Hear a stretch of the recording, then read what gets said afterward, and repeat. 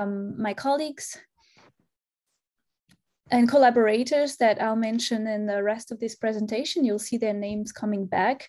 Um, they've been uh, major collaborators on, on several of the studies that I'll, um, I'll cite um, in, the, in, the, in the coming presentation. Um, so today, the, the main question that I would like to ask is a question that actually I've been interested in in the last decade. Um, and that question is, have we missed anything in ecology by focusing on certain interaction types while ignoring others? Um, as you may know, um, a lot of ecological theory has been based on predation and competition.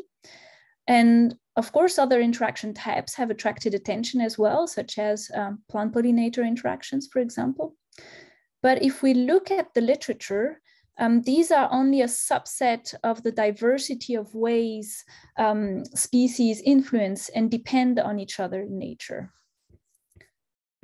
So can we improve our understanding and predictive ability of natural communities by incorporating the diversity of interaction types, which we know coexist in nature in ecological theory? This is the, the main question that I'd like to ask today and discuss with you.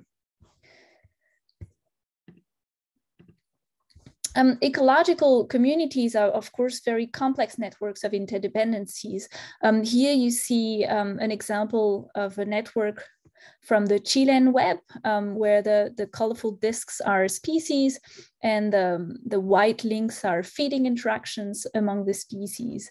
And because of this complex networks of links, um, it's of course very difficult to predict how a perturbation will propagate in such a network and eventually affect the entire community.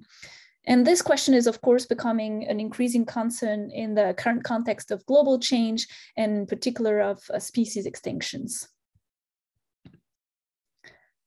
The question of species extinction has been of interest for a very long time in ecology, both um, theoretically and empirically. And here uh, I'd like to start this presentation with an example of a clear discrepancy between current ecological theory and experimental work. Um, actually, this is work from my colleague, um, Ian Donohue, who's a professor at Tr Trinity College in Dublin, Ireland. Um, and so Ian and his team um, and collaborators, they've performed field experiments on the rocky shore of the east coast of Ireland. And they're interested in, in investigating the consequence of species loss occurring at different trophic levels. So this is um, a very simplified uh, trophic network of, uh, of these communities. Um, you have predators, crabs and whelks, which consume uh, two groups of primary consumers, grazers and mussels. Um, and you have macroalgae that are consumed by the grazers. So this is a very uh, simplified food webs. And what they did uh, was to uh, simulate the local extinction of either one of the top consumer species in isolation or in combination with the removal of the primary uh, consumers, so the grazers or the mussels. And then um, they followed the experiments for 14 months, and they were interested in the effect of the simulated removals on um, the biomass of the overall community and possible secondary extinctions, in particular among the macroalgae taxa. So at the beginning of the experiments, there were 16 macroalgae taxa in those communities. So here is what they found. Um, what you'll see in this graphic are the number of secondary extinctions. So how many of the 16 macroalgae taxa were extinct at the end of the 14 month. In um, the case where nothing was changed, and the case where whelks were removed or crabs were removed. And what they found was as follows. Um, on average, less than one species um, was extinct in the absence of any manipulation. But when either one of the top predator was removed, um, they were on average five times more secondary extinctions of the macroalgae taxa. And this happens when either one of the top predator is removed.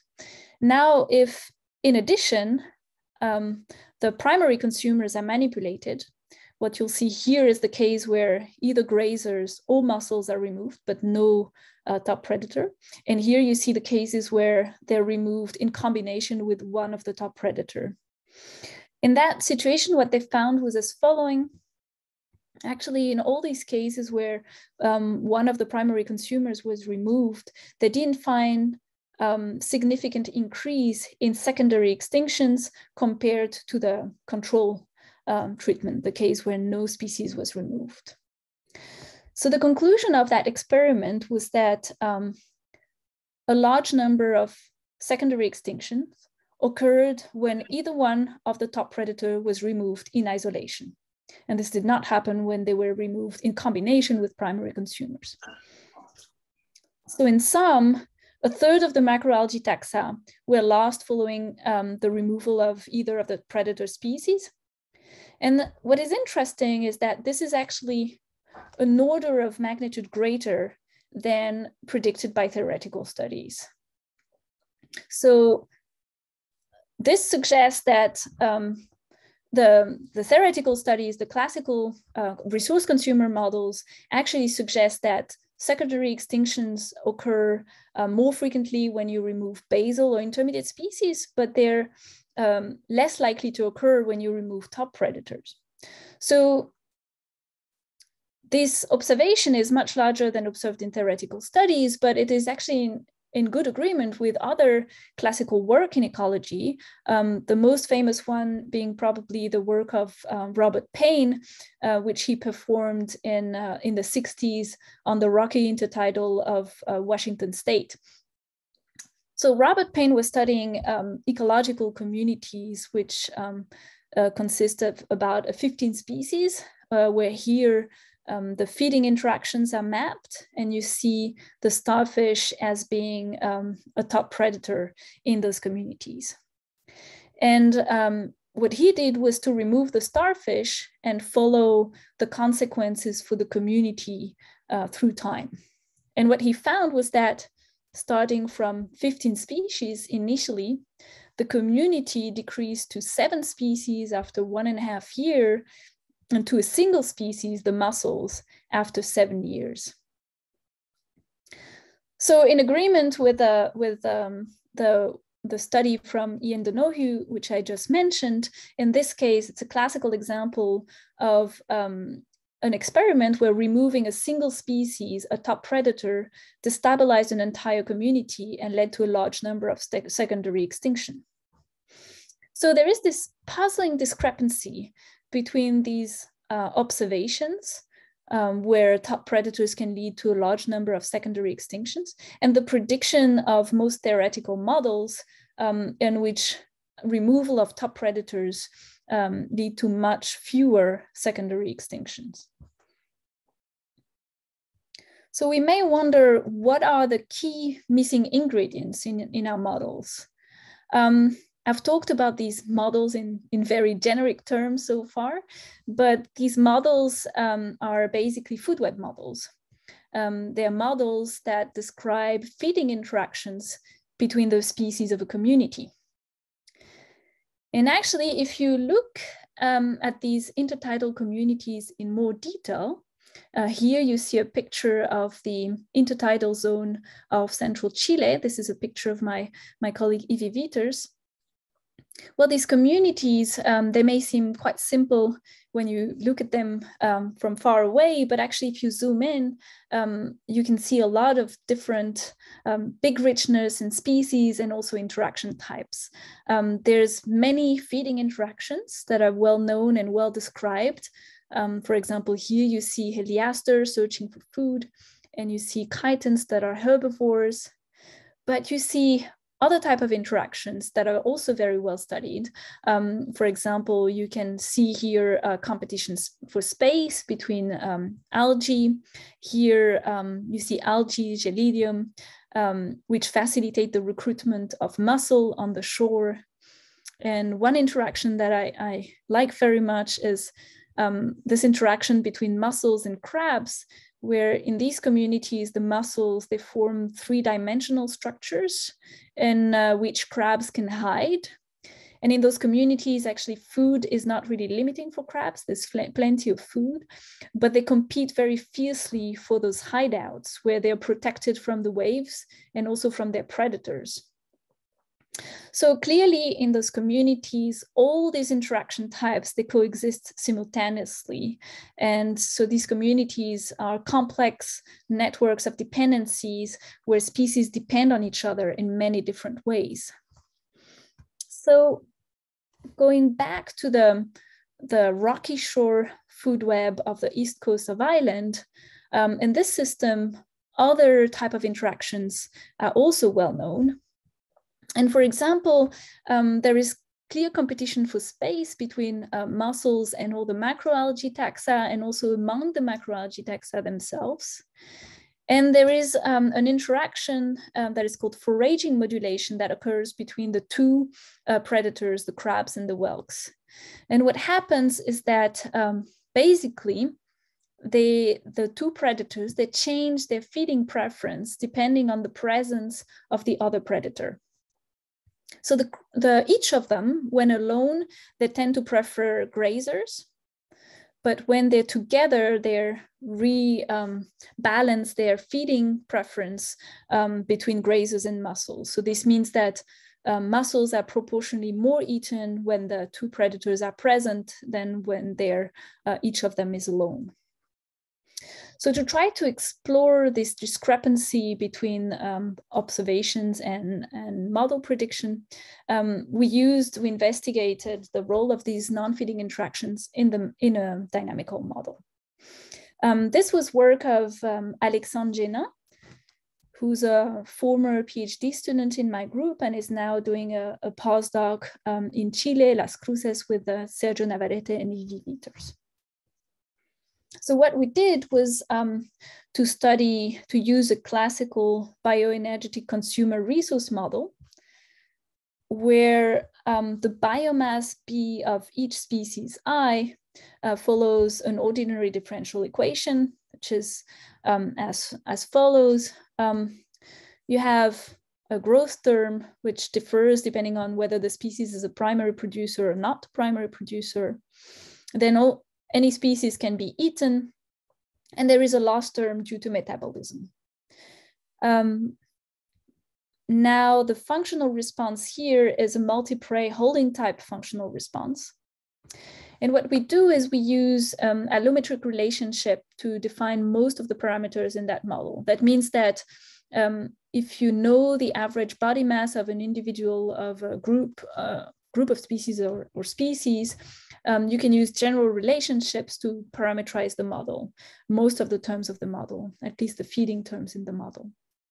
And also remember that we know we have the, the ecological network. So um, we have the structure of the food web and we map this dynamical equation to, um, to the food web observed in, in the field. Now in this model, what we wanna do is incorporate non-feeding interactions.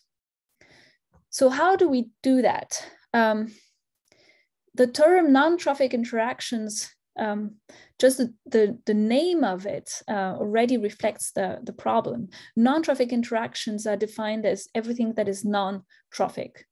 Um, and uh, this is a little bit overwhelming. Like how do you, how can you create order in that diversity of ways species can influence each other? So a while ago, with some colleagues, we, we reviewed the literature to try to find a way of categorizing the non-trophic interactions into categories that could be useful, useful for modeling in particular. And so here is what we came up with.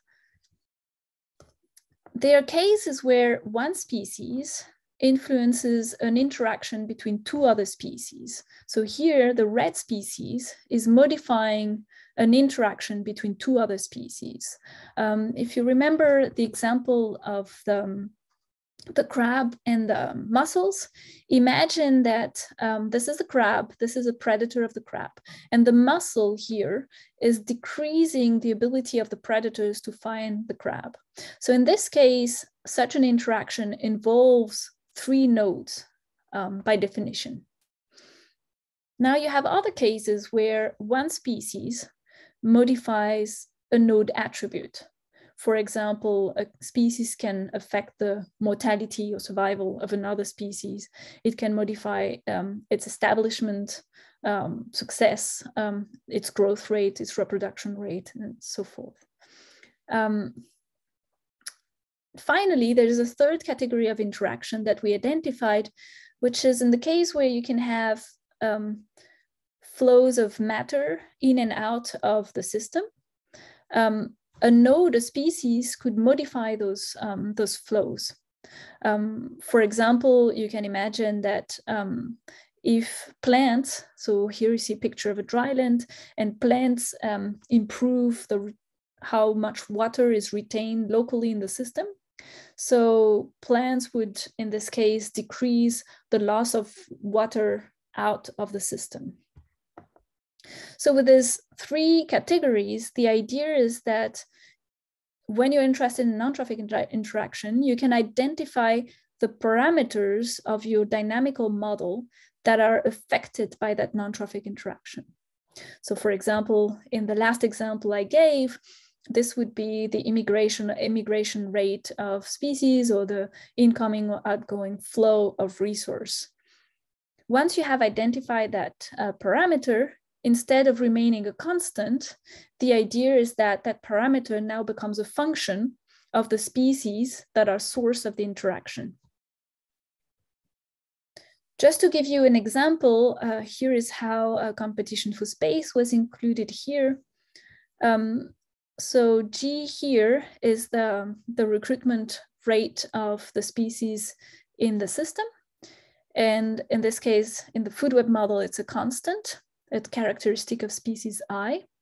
But now we're saying many other species K are competing for space with species I, and therefore they're decreasing um, their recruitment uh, rate in the, in the system. And so G is going to now become a decreasing function of the abundance of all these K species that are competitors of I. And then uh, this is a very simple example where you would have a linear decreasing relationship um, between G and, and the abundance of the competitors.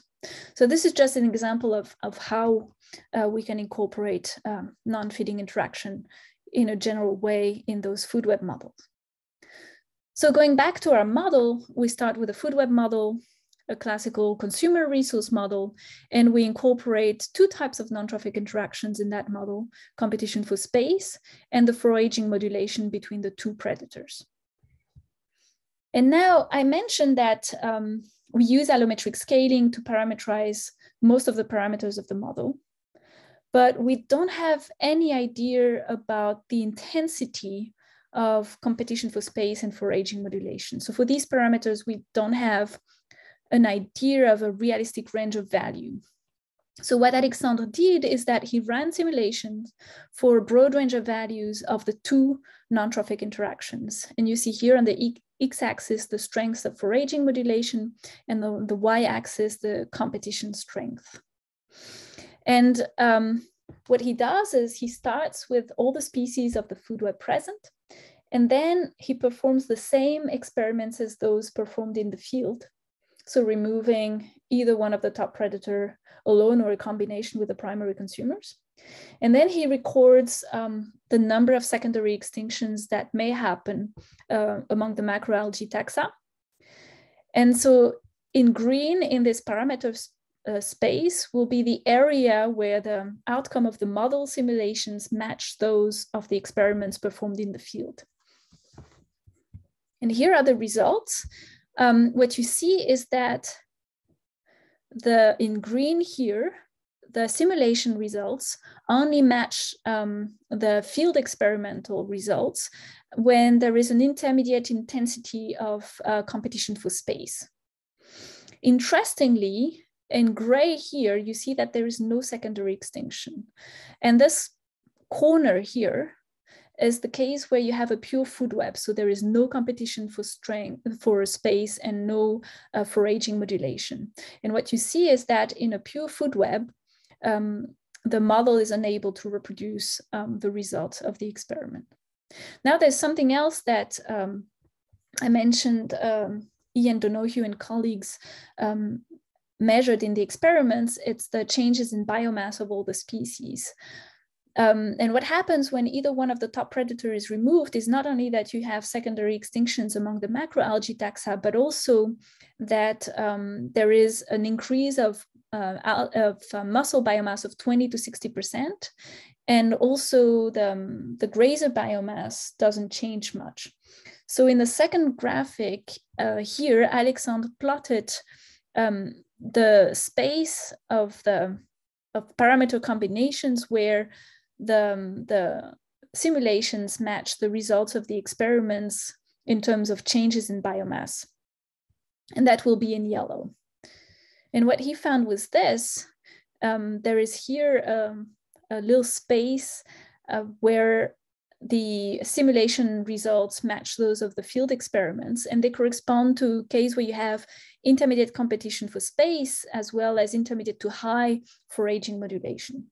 So the conclusion of this um, exercise was that actually in this case, the diversity of interaction type was uh, needed for the model to be able to reproduce the results of the uh, experiments. And so in this case, incorporating the diversity of interaction types was one of the way of resolving this discrepancy between the observations, the field observations, and the model predictions.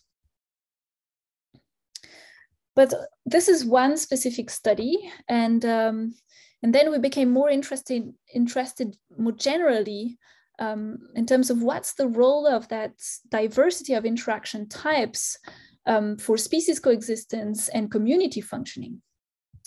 So building on this uh, study, we used the same uh, model um, modeling framework, but this time we incorporated in the model a broader range of non-feeding interactions.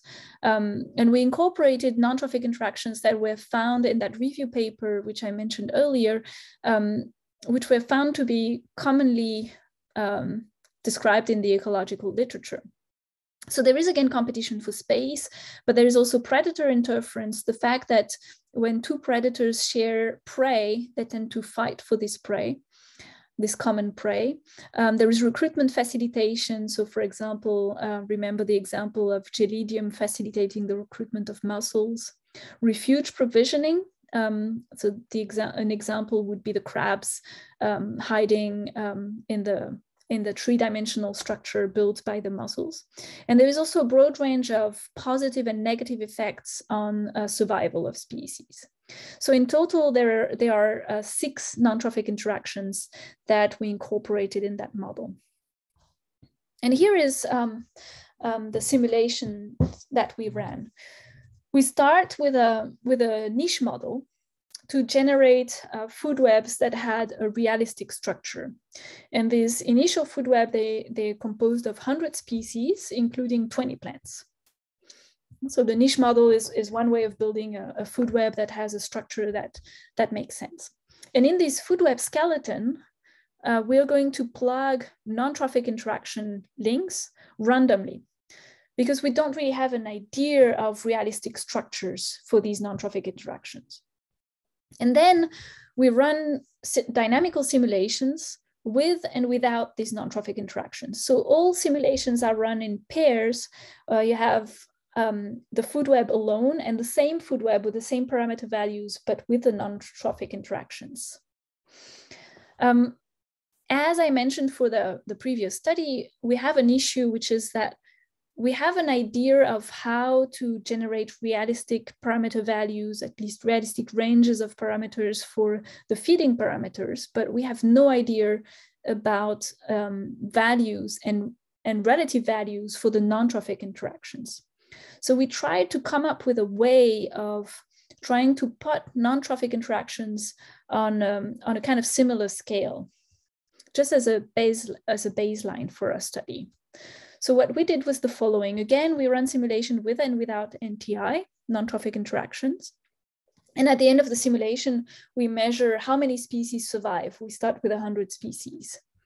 And so one thing we measured was uh, what we called variation in species diversity, which is the um, uh, diversity, the species number at the end of the simulation with non-trophic interaction um, compared to the number of species at the end of the simulation in the food web, so without non-trophic interaction. So you have the relative change in species diversity due to a given non-trophic interaction. And then what we do is that we do that for every non-trophic interaction, and we do that for different values, different intensities of that non-trophic interaction.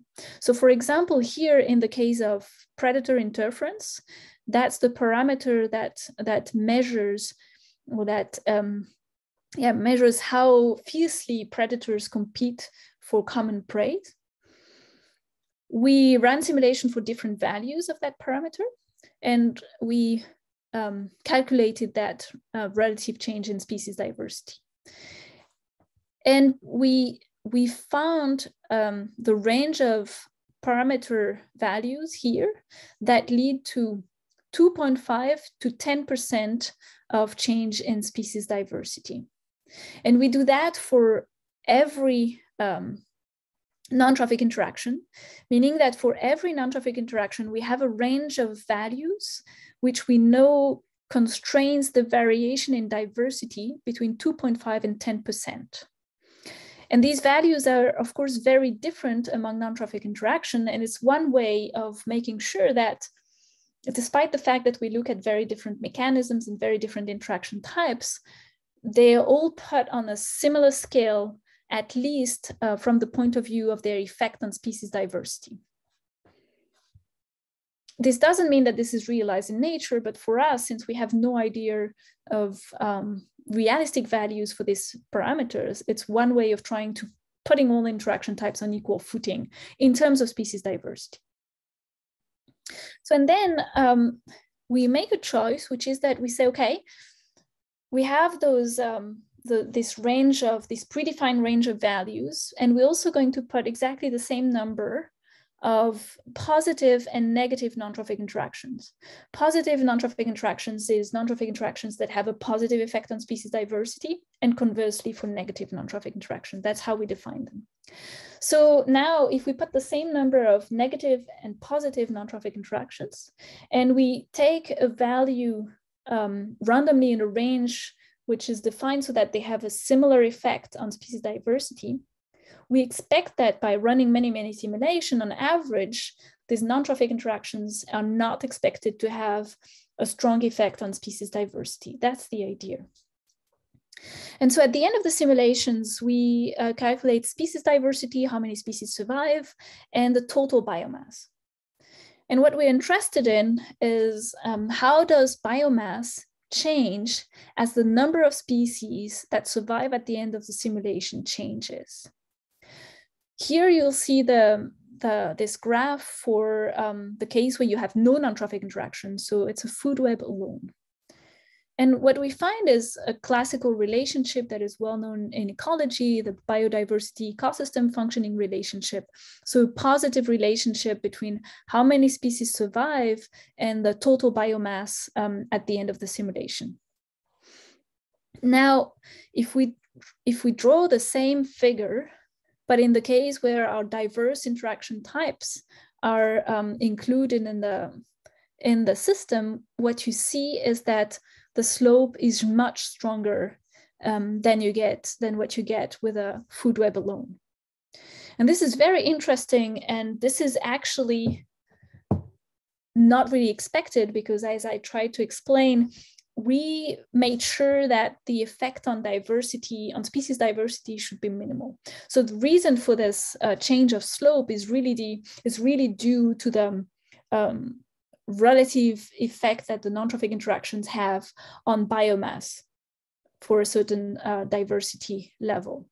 And actually, this relationship can be explained in a very mechanistic way what happens is that in the case here, where you have species that are um, communities that are relatively rich in species, um, these communities by chance, because again, we take all the, the intensity of the non-trophic interaction randomly in a predefined range. So by chance, these communities tend to have strong positive non-trophic interactions. And in the presence of those strong positive non-trophic interactions, you have communities that are that have a relatively high uh, number of species, and this is associated to disproportionately high total biomass. Conversely, um, in those in those cases here, uh, where the species diversity is relatively low at the end of the simulations, these communities by chance had a few very negative um, non-trophic interactions, such as competition for space. And so these communities where there is strong um, negative non-trophic interactions tend to have low species diversity associated with a lower, um, relatively lower um, biomass than you would expect in a food web alone. So we expect actually this difference in slope to be a gen very general phenomenon when uh, you look at diverse communities, when diverse types of interactions are involved, that this diverse interaction will mechanistically increase the slope of this relationship. Um, because you may have communities with more positive interactions and communities with stronger negative interactions, and this will change the, they will, this will increase the slope of that relationship. Now, this relationship is often used to think of um, the effect of species extinction on community functioning. And so what this stronger slope means is that when we, if we lose species in those communities, the effect of functioning is um, stronger than what you would expect if you study, if you assume that only feeding interactions are present.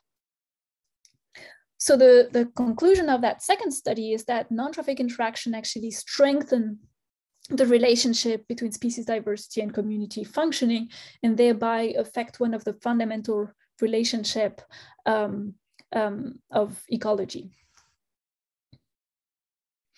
But um, so far we've we've included this non-trophic interaction, at least in this last study, we included its non-trophic interaction uh, completely randomly about the food web. And one of the questions that I think is a real challenge in the field right now and remains entirely open is how, what's the structure of these non-trophic interactions? And more specifically, how do they map onto each other? What's the relative structure of different interaction types to each other? Um, so what's the structure of a network that includes diverse interaction types simultaneously, what we call a multiplex network in network science. So network where you have a set of nodes, so here species that are connected by not only one type of interactions, but different types of interactions simultaneously.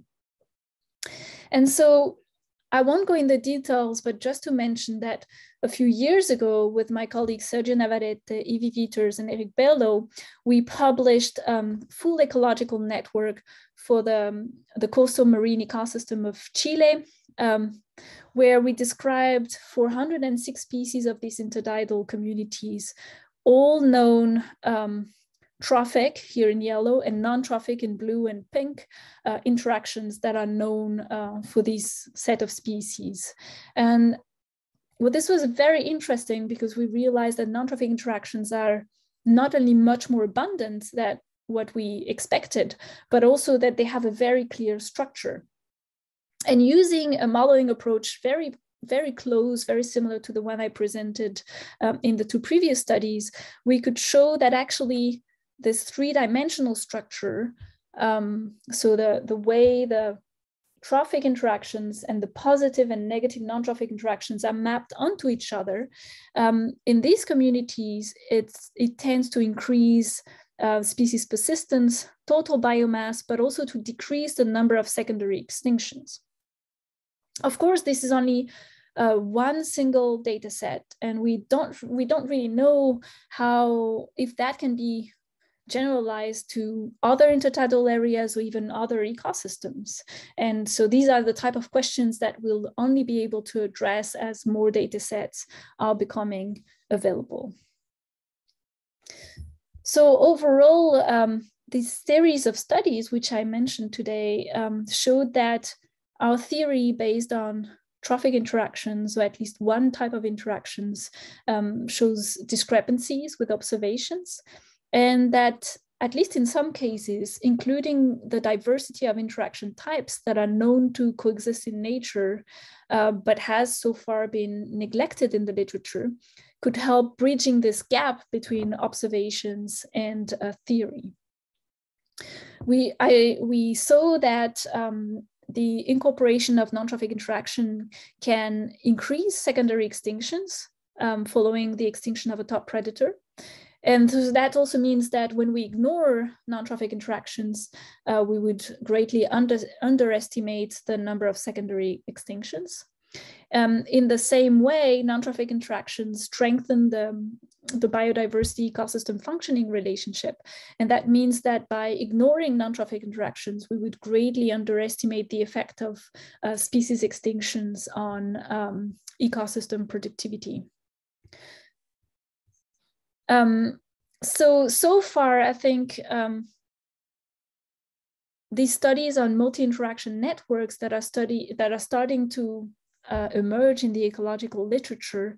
They've been um, contributing, they've been pieces of a puzzle that we, we start um, assembling that contributes to building a clearer picture of when and how this diversity of interaction types matters. Because it doesn't mean that it's always relevant to include all type of non-trophic interactions. Actually, probably not. Hopefully not. And so one of the very important question is when do we need to include what type of other interactions so that we have a clear idea of the and especially predictability of the dynamics of ecological communities? And so these um, studies they start um, building that this picture, but we we still at the beginning and we still lack um, a general idea uh, of um, why and how different diverse type of, in, of interactions matter for our fundamental understanding, but also predictability of natural communities in uh, the context of global change. And so I've been talking about multi-interaction networks because this is what I'm interested in, like how diverse interaction types can change our, our vision of, of the functioning and stability of ecological community. But actually, um, this is part more generally of, um, of a body of literature which has been called multi-layer ecological networks or multi-layer networks in network science. Um, because in ecological communities, we don't only have diverse interaction types, but it, these networks, they also change in time and in space. And, um, and so there's a broad range of studies that are started to emerge that, that try to incorporate tools from network science to better describe um, the temporal and spatial dynamic of, of ecological networks. And this, of course, open a whole range of new open questions. And with this, I'd like to thank you very much for your attention and I'm happy to answer questions.